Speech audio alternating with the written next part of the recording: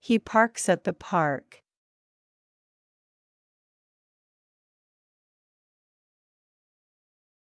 She hit the bat using a bat.